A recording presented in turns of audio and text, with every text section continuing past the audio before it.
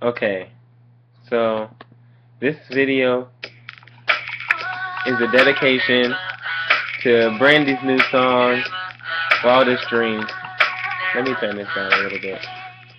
This is a dedication to Brandy, her career, just everything. Like, I just want to say I love, love, love her as an artist, as a person. Um, I believe that this song has just confirmed, like, so much.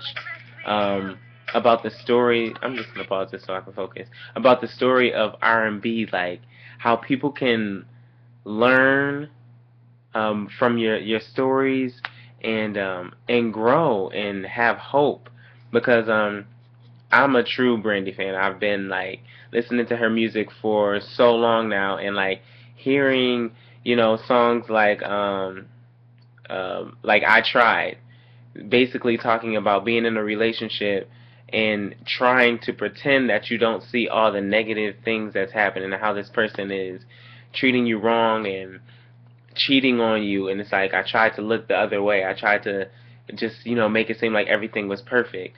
So it's been like, you know, going through this struggle with Brandy and like, you know, feeling like, oh, you know, you're gonna find the right person. And now she has this song Wildest Dreams and it's saying, you know, like I I was asking God, you know, I kept asking God why and now I'm receiving an abundance of love and I get it and I, I never felt like I could ever imagine this.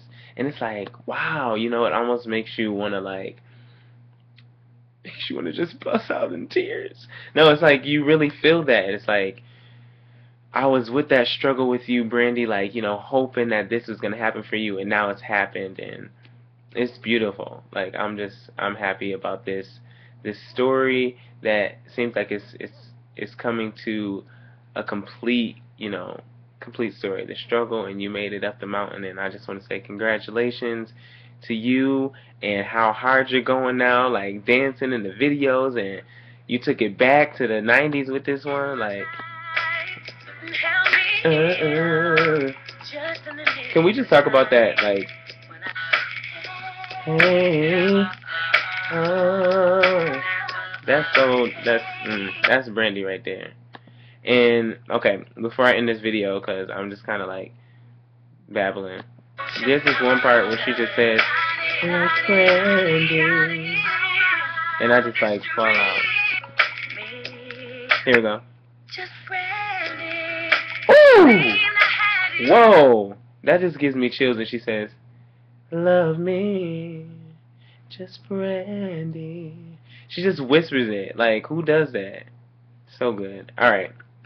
Peace out. Love you, Brandy. Uh, true B Rocka fan to the end. All right.